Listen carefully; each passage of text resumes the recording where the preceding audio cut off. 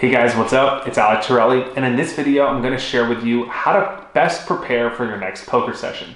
I've experimented with routines over the past decade during my career as a high stakes poker player and coach, and today I'm going to share with you the best of what I've learned. But before we get into it, if you are new to this channel, welcome. And our goal here at Conscious Poker is to make this the best, most inspiring place to learn poker on the internet.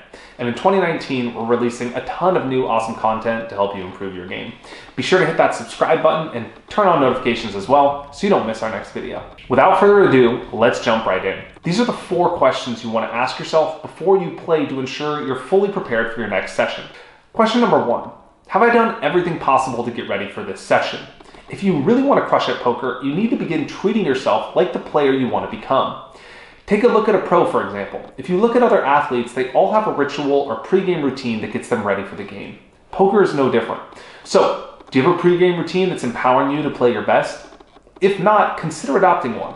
If you're like anything like most players, there's a huge difference between your A game and your C game. And formulating habits and practices that are engineered to get you to play your best will help you access your A game, thereby improving your chances of crushing it. While there are many habits that ultimately comprise winner, my favorite three ones to adopt are meditating, journaling, and exercise. None of them have to be fancy, and fortunately, there are great ways to do this. Let's jump in. For journaling, simply write out your goal for the session, what you want to focus on, and how you will measure success. Here's a pro tip make your focus something that you can actually control. For example, my focus is to play each hand the best way possible, keeps the entire session within your control whereas writing, my focus is to leave a winner, is ultimately beyond your grasp. Second, meditating is extremely easy with the app Primed Mind. They offer guided meditations called primers, which are engineered for poker players. Whether you want to play confident, not tilt after bad beats, or get ready for online cash games, they have a meditation for you. In as little as seven minutes, you can shift your focus from the problems of the day to gearing up to crush your poker game. You can download that for free at the link in the description below. As for exercise, what I find works best and most efficient is high intensity cardio or HIIT training. Basically, you want to get your heart rate up and then let it come down as that mimics in-game play. I use these intervals to prepare mentally as much as I do physically. And during the intervals, I'm pushing myself hard while simultaneously thinking about how I want to perform, play, and be at the poker table, simulating an in-game experience. I may even replay a hand I played during the previous session in my mind, correcting any mistakes and playing it perfectly. Then I rest, just like I do when I fold. While there are countless ways to do interval training, a simple and effective one is walking uphill on a treadmill or sprinting and then walking. Set the incline to 10.0 and walk for one minute at 4 miles per hour or 6 kilometers per hour, followed by a one minute rest at 2.5 miles per hour or 4 kilometers per hour. Do this 10 times with a 3 minute warm up and a 3 minute cool down. You're done in 25 minutes and you're left feeling great.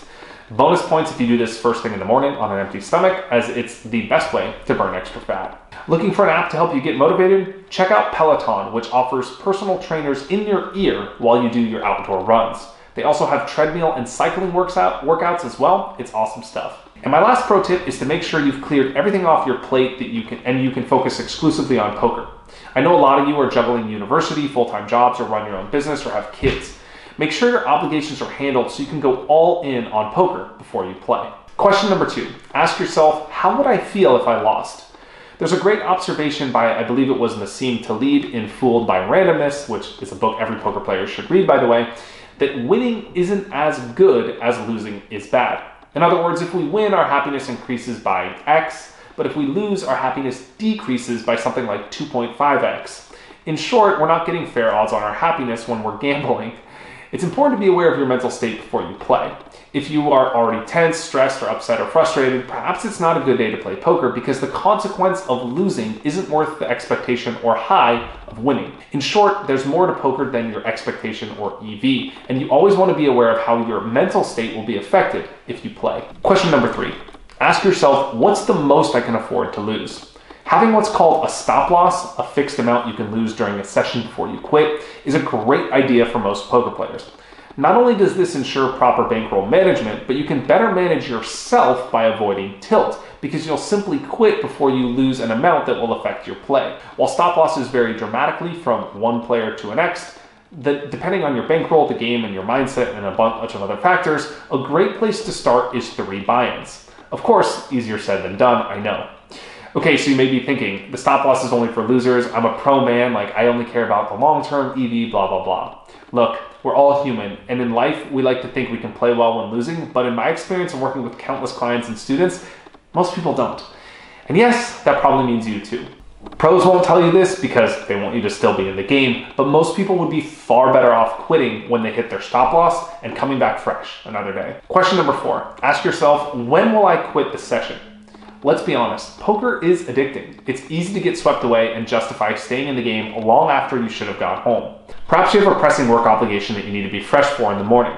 Maybe it's the kids. Maybe you're just tired and you know you're only going to be good for another three hours.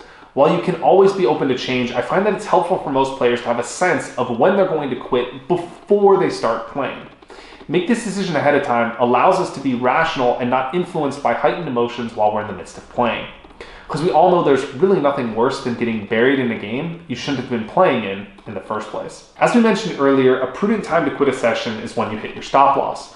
Planning that out ahead of time is a great idea. You also may want to quit if you hit what's called your win cap, an amount of money that you win, which, if you lose it back, would significantly affect your mental state. Perhaps you're taking a shot at a big game and the money is important, or maybe you're just happy to get unstuck from a downswing or book the win. No shame in that. Being aware of your needs on any given day is important in determining when to quit a session.